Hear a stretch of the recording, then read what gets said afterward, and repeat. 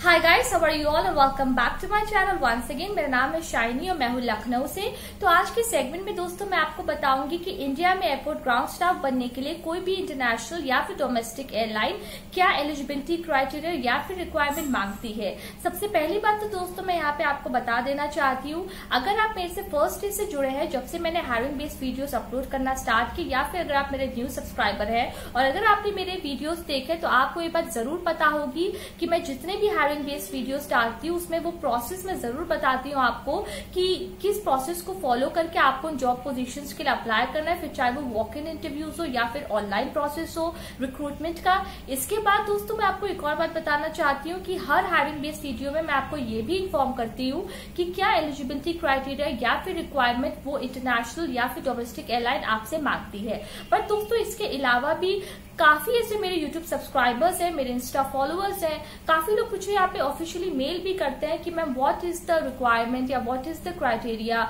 जो हम फॉलो करें, जिसके थ्रू हम किसी भी एयरलाइन में as an airport ground staff work कर सकते हैं। तो आज दोस्तों, इस सवाल का जवाब मैं आज के वीडियो में आपको दूँगी। सबसे पहली बात तो दोस्तों, मैं आपको ये बता देना चाहती हूँ कि इंडिया में अगर हम इंडिगो एयरलाइंस की बात करें तो इंडिगो एयरलाइंस सिर्फ़ प्रेफर करती है ग्रेजुएट्स को। अगर आपका ग्रेजुएशन है थ्रू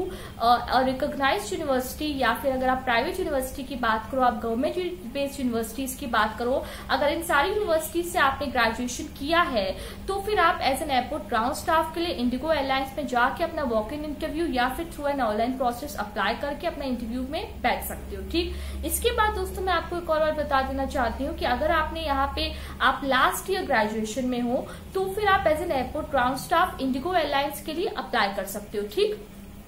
दूसरी बात दोस्तों यहाँ पे ये होती है कि काफ़ी लोग मुझसे बात पूछते हैं कि ma'am distance education distance degree हमने यहाँ पे की है तो क्या हम डिस्टेंस डिग्री के साथ अप्लाई कर सकते हैं या नहीं? या फिर इंडिगो एयरलाइंस सिर्फ़ यहाँ पे रेगुलर डिग्री मांगती है ग्रेजुएशन की? दोस्तों, अगर आपने अपनी डिस्टेंस डिग्री किसी recognised UGC AICT approved university से की है तो आप इंडिगो एयरलाइंस में ग्रेजुएशन के बाद अप्लाई कर सकते हो। यूजीसी और एआईसीटी रिकोगनाइज डिग्रीज का मतलब दोस्तों ये होता है कि आपकी इन डिग्रीज में कोई भी फेकनेस नहीं है कोई भी फौज आपने नहीं किया क्योंकि बाय चांस अगर आपका सिलेक्शन यहाँ इंडिगो के साथ हो जाता है and they came to know कि आपने यहाँ पे कोई फ्रॉड किया है अपनी डिग्री को पाने के लिए तो फिर ऑब्वियसली दोस्तों यहाँ पे जो आपका सिलेक्शन हो, हुआ होगा जो आपका एम्प्लॉयमेंट होगा उसे इंडिगो एयरलाइंस टर्मिनेट कर देगा। ठीक तो ये बहुत ज़्यादा एक नेगेटिव इम्पैक्ट आपके करियर के ऊपर डाल सकता सकता है। तो अगर आपको इंडिगो एयरलाइंस के साथ वर्क करना है then obviously you have to be a graduate ठीक?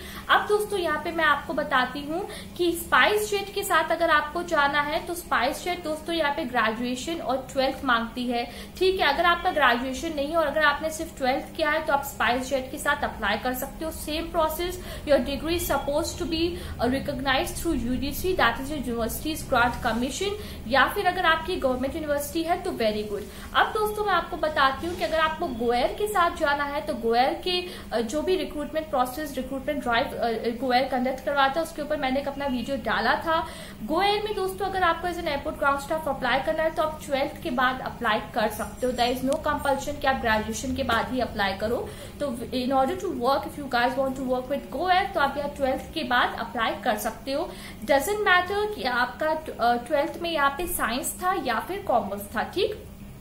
अब दोस्तों मैं आपको यहाँ पे बताती हूँ कि क्या रिक्वायरमेंट ये तो दोस्तों मैंने आपको एक एलिजिबिलिटी क्राइटेरिया बता दिया कि आपको ग्रेजुएट होना है या फिर ट्वेल्थ पास ठीक? ट्वेल्थ पास में एक और बात दोस्तों मैं आपको बता दूँ स्टेट बोर्ड के ऊपर भी काफ़ी सवाल आते हैं कि आईसीएससी सीबीएसई यूपी बोर्ड या कोई भी आपका स्टेट बोर्ड है। डजेंट मैटर अगर आपने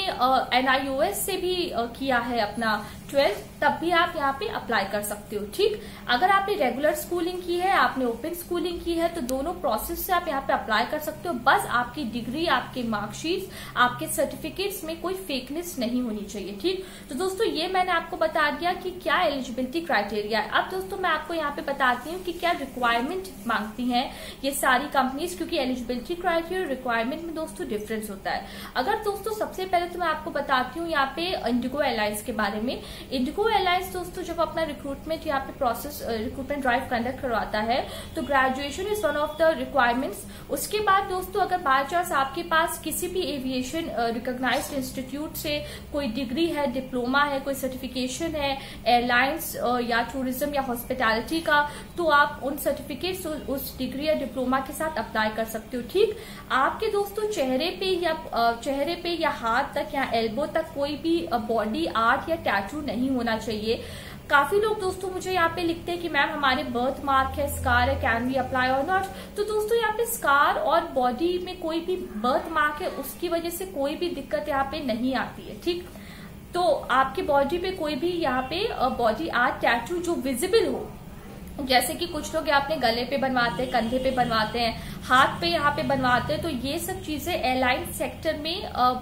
बहुत ज़्यादा मैटर करती है। तो इट इज़ समथिंग जिसकी वजह से आपका यहाँ रिजेक्शन हो सकता है in order to work as an airport ground staff तो अवॉइड करिए कि कोई भी आपका बॉडी आर्ट टैटू यहाँ पे विजिबल ना हो इंटरव्यू के टाइम पे, और ऑब्वियसली जब सिलेक्शन हो जाएगा और आप वर्क करोगे तो आपके बॉडी आर्ट टैटू यहाँ पे नहीं होना चाहिए विजिबल नहीं होना चाहिए, ठीक? अब दोस्तों, यहाँ पे मैं आपको बताती हूँ जो बाकी के आपके जितने भी रिक्वायरमेंट्स है यहाँ पे एयरपोर्ट ग्राउंड स्टाफ के तौर पे अगर आपको सिलेक्ट होना है तो। अगर दोस्तों आपकी एज है यहाँ पे 20 से 27 के बीच में या फिर 20 टू 26, 20 टू 25 तो 20 से 27 साल के बीच में आप इंडिगो एयरलाइंस में जाके अपना एयरपोर्ट ग्राउंड स्टाफ का इंटरव्यू दे सकते हो ठीक? अब दोस्तों एक और बात मैं आपको बता दूँ कि काफ़ी लोग इधर दो तीन से मुझे लिख रहे थे कि मैम हमारी एज है यहाँ पे 28 साल 29 साल 30 साल तो क्या हम अप्लाई कर सकते हैं कि नहीं? आप अप्लाई नहीं कर सकते फ्रेंड्स क्योंकि हर एयरलाइन का अपना खुद का एक रूल क्राइटेरिया होता है। अगर आप इंडिगो एयरलाइंस का करियर सेक्शन विज़िट करो तो वहाँ पे ये बात लिखी रहती है कि 20 से 25 होती है बट वैसे 20 से 27 साल तक 27 भी एक आपकी मैक्सिमम एज है, जिसमें आप जाके एयरपोर्ट ग्राउंड स्टाफ का इंटरव्यू दे सकते हो, ठीक? अब दोस्तों, मैं आपको यहाँ पे लास्ट क्राइटेरिया रिक्वायरमेंट बता क्राइटेरिया बताती हूँ। वो ये है दोस्तों कि अगर आपने as an airport ground staff interview देना है, पहली बार आपने दिया, आपका रिजेक्शन हो गया फ़र्स्ट राउंड में दोस्तों, अगर आपका रिजेक्शन हो जाता है तो it is not a compulsion कि आप इंटरव्यू नहीं दे सकते हो। अगर आपका फ़र्स्ट राउंड में सिलेक्शन नहीं हो रहा है तो आप ऑब्वियसली नेक्स्ट राउंड नेक्स्ट जो इंटरव्यू शेड्यूल होगा, उसमें आप जाके अपना आराम से इंटरव्यू दे सकते हो, ठीक? बट अगर आपका यहाँ पे सारे इंटरव्यू प्रोसेस सारे इंटरव्यू राउंड जैसे आपका जीडी हो गया पीआई हो गया, अगर वो सब कंप्लीट करने के बाद, वो सारे राउंड्स देने के बाद अगर आपका यहाँ पे रिजेक्शन हो रहा है तो फिर दोस्तों आप यहाँ पे छह महीने बाद या तीन महीने बाद अप्लाई कर री अप्लाई कर सकते हो इंडिगो एयरलाइंस के साथ, ठीक? अब दोस्तों, मैं आपको जल्दी से बताती हूँ कि स्पाइस जेट का क्या यहाँ पे एलिजिबिलिटी क्राइटेरिया मैंने आपको बता दिया था रिक्वायरमेंट रिक्वायरमेंट दोस्तों it is same like IndiGo airlines अगर आपके पास एविएशन या एयरलाइंस में कोई सर्टिफिकेशन या एक्सपीरियंस है very good it would be acting as an advantage for you for for your selection right अब दोस्तों, मैं आपको बताती हूँ कि सेम प्रोसेस बॉडी आर्ट या टैटू विजिबल यहाँ नहीं होना चाहिए। ठीक, कोई भी गले पे चेहरे पे यहाँ पे जैसे लोग बनवा लेते हैं या हाथ पे बनवा लेते हैं, ये सब चीज़ें आपकी यहाँ पे विजिबल नहीं होनी चाहिए। ठीक, अब दोस्तों, एक और बात मैं आपको बताती हूँ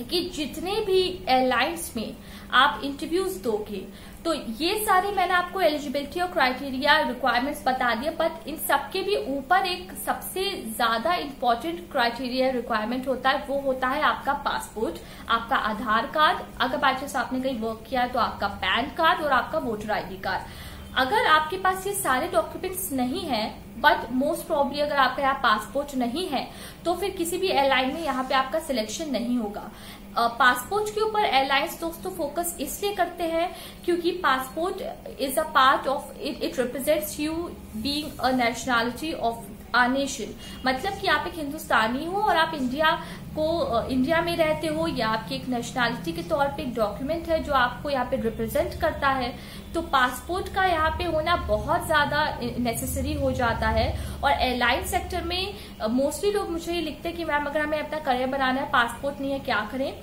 ऑनलाइन प्रोसेस के ऊपर बहुत जल्द दोस्तों एक वीडियो आपके लिए लेके आऊँगी कि काफ़ी लोगों को यहाँ पे पता नहीं होता है कि मैम, किस प्रोसेस को हमें फॉलो करके अपना पासपोर्ट बनाना है? तो उसके ऊपर एक वीडियो दोस्तों आप सबके लिए ज़रूर लेके आऊँगी। बट सबसे ज़्यादा इम्पोर्टेंट चीज़ दोस्तों यहाँ पे होती है कि पासपोर्ट आपका यहाँ पे होना चाहिए। अगर आपका पासपोर्ट है, आपका ग्रेजुएशन है और आपकी उम्र 27 से कम है, इसके अलावा आपके चेहरे पे आपके कोई भी विजिबल जगह बॉडी में कोई बॉडी या टैटू नहीं है तो फिर आप यहाँ पे एलिजिबल होते हो किसी भी एयरलाइन में airport ground staff job position की इंटरव्यू देने के लिए, ठीक? तो ये सारे प्रोसेस सारी रिक्वायरमेंट सारे एलिजिबिलिटी क्राइटेरिया सब कुछ दोस्तों आज के वीडियो में मैंने आपको बता दिया है। अगर इसके बावजूद भी दोस्तों आपके पास कोई क्वेश्चन है क्वेरीज है कमेंट्स है, जो आप मेरे से पूछना चाहते हो तो ऑब्वियसली आप मेरे इस वीडियो के नीचे लिखिए। I try my level best कि आपके सारे कमेंट्स के जवाब दे पाऊँ। तो चलिए दोस्तों, मैं इस वीडियो को यहाँ पे रैप अप करती हूँ। अगले वीडियो में दोस्तों अगेन मैं आपके लिए किसी नए टॉपिक के ऊपर वीडियो लेके आऊँगी। तब तक लिए दोस्तों, अपना ख्याल रखिएगा। Bye and take care